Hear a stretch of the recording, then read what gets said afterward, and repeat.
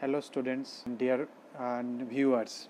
Uh, in this crisis situation uh, of due to the coronavirus crisis, I am planning to start a uh, online classes on switchgear protection that is basically intended for uh, diploma engineering students for my college and all other interesting students for diploma in electrical engineering.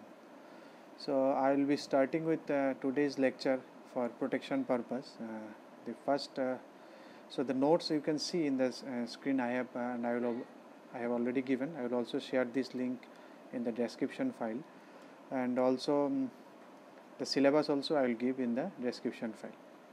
So the first topic that uh, I would like to start today that is uh, regarding fault analysis and various faults that occurs in our uh, power system. So I will be starting with first uh, protection part although it is switchgear and protection switchgear I will come later.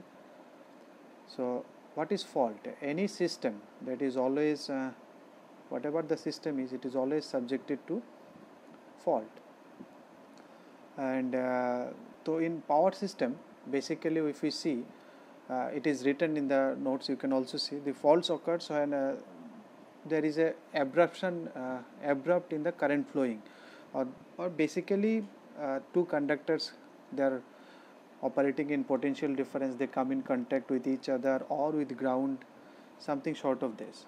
So mm here you can see something is given uh, in the notes that is symmetrical and unsymmetrical. Before going that uh, i will be doing something extra than uh, what is written in these uh, notes so if you uh, I, will, I will do it some work in my copy. I will try to shunt faults. And series faults.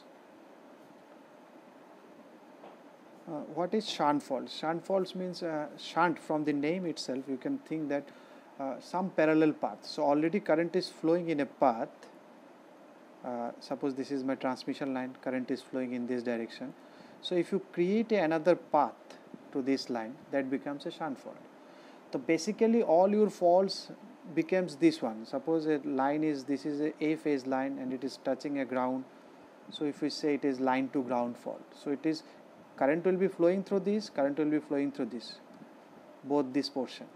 But as this is directly connected to ground so resistance will be very small. So maximum current will pass through this and very negligible currents will pass through this. So that's why we say this is the fault current. So another path is created that's why it is known as shunt fault current.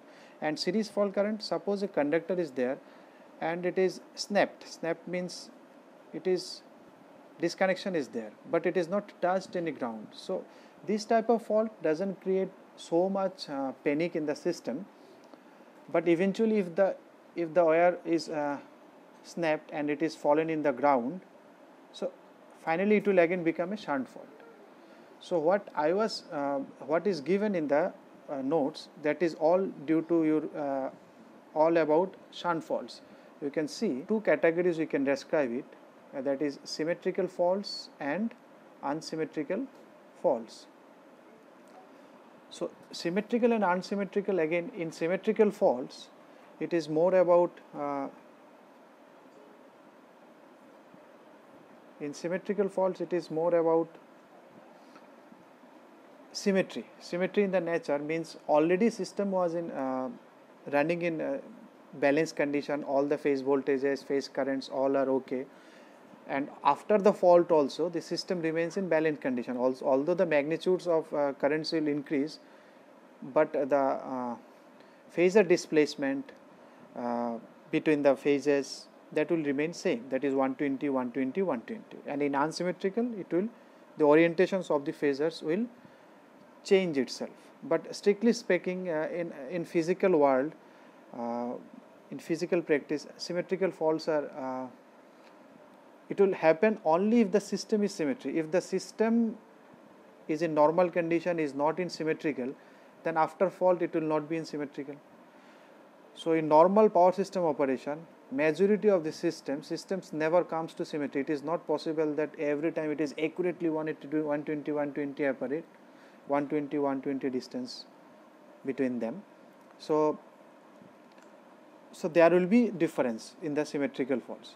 And in unsymmetrical faults broadly classify if you do it then it is LG this is line to ground double line to ground LLG LL this type of so symmetrical faults you can see in the symmetrical faults it is written a fault uh, current IA, IB, IC all will be equal in magnitude because of the balance of nature on all the three faults are connected they are short circuited that is the picture that is given here is triple L fault. Second one will be your triple LG fault L L L G fault. All the lines will be there A B C and all will be connected they are shorted and then it is connected to ground so it is triple LG fault and there will be LG. LG you can see this is already LG fault I have discussed one line ground. If two lines ground connected then it is double LG. So in that case that becomes unsymmetrical faults. So symmetrical and unsymmetrical that one you have already seen symmetrical and unsymmetrical. Uh, so broadly classified into these two categories but if you go in details you will find that again there are 11 types of faults that is also not there in the notes uh, 11 types of something extra than the notes I will try to give here. So 11 types of faults what is 11 types of faults? It is nothing but if you like uh, suppose there are three phases A, B, C. So if I write the fault one is AG, BG, CG means A to ground, B to ground, C to ground. In in LL fault you will find again A, A, AB fault, BC fault, AC fault. So 6 is already there. Then in uh, ABG fault, LLG fault. This is LG, this is LL, this is LLG, ABG, BCG, and then you will find ACG. These are the faults. So in triple L, so now we are getting it. Na? In triple L, it is ABC fault, and triple LG it is ABCG ABCG this is ABC fault so you can see 3 3 6 3 9 plus 2 11 faults so uh, for that symmetry and unsymmetry nature for that I will try to uh, draw a brief phasor diagram analysis so that you can have a better understanding between why, why it is this why it is so how it is look like suppose uh, I will draw the phasor diagram for each category one and one. So if you see um, the LG fault, uh, sorry, the first I will go for the symmetry one that is triple L fault. If it is a triple L, that means all your phase that is already is in this uh, 120, 120, 120 separate. So because it is triple L fault, that means all the three phases are connected. So the the magnitudes wherever the fault occurs suppose here fault occurs the voltage magnitudes here become very less because the resistance is very small. So current into resistance negligible. So v is equal to ir so these voltage will be very small very small voltage that fault voltages so whichever phase the fault occurs that phase voltage reduces very much because here it is three phases so all three will be reduced simultaneously so the new phasor diagram will be something this of this form. So this is the new phasor diagram BC voltage. So all the the this one the bigger outer diagram this one was the before fault and this is after fault. So it remains symmetry again there is a symmetry this is the earlier AB phase this is earlier BC this is line voltages earlier. So all these and the new these are same. Now suppose this is LG fault how will be the scenario like Suppose the fault is in A phase, phase A. So the A phase will be only get reduced. So this one will be A phase. So this is will be your B and C will remain same. So the new phasor diagram will look like this. So you can see the earlier now this triangle that is formed it is not at same. So this is A phase, A phase magnitude is reduced, this is B phase and this is C phase. So if there is a fault in A phase and if I assume the fault is inductive then the current will be lagging the voltage by an angle of 90 degree. So this will be somewhere the fault current IF, fault current of that fault if you draw the phasor diagram of that. Similarly, you can try for LL fault also. Suppose if I consider it is AB fault, A phase, B phase, C phase. So AB fault. So A and B will get reduced now. And what will be the fall voltage? Because it is between A and B. So the fall voltage, A phase and B phase, these are connected to each other. This is the fault. Suppose A phase, B phase. So what is this voltage? VAB voltage. So this is my fault voltage. So fall voltage will look like this. And if I assume the fault is inductive purely,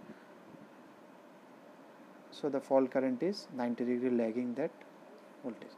So you can see that your symmetry nature is this was the early early symmetrical positions okay now everything has changed the figure has been distorted here so you can think of that LL, LL uh, sorry this is LLG this was this was for LLG simple LL it will be always lying on the same line again. If I go for LL LL this is ABG forgive me. This is AB suppose A phase B phase and C phase. So it will be this was the early AB so AB structure remains same but the magnitude reduced this is AB this is new VA new VV and this will be the new VAB so the fault current will be going like this difference between these and this here also this is AB VAB but here it is reduced very more than this. Here it is reduced this much and here it is reduced this to again this is this is shrinking. If I go below then it will it will shrink. So because why it is more shrinking? Because the ground is there. Because ground is there fall current will be uh, the resistance will be very small. So the voltage drop will be very small. So this will again further reduce. So bring down this one. So this is all about the phasor diagram. So from here you can see that's why the phasor diagram was missing in the notes. So i thought it will be good for you to understand uh, how the scenery changes after the faults. So I will leave it today. Up to this much.